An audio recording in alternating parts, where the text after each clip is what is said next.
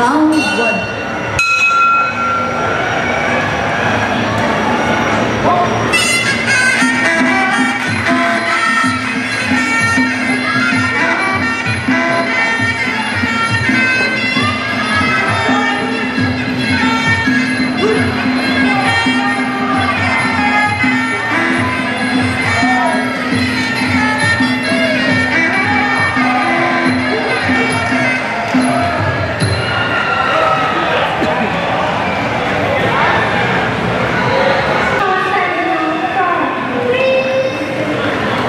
The winner is Ray Damito from Ukraine.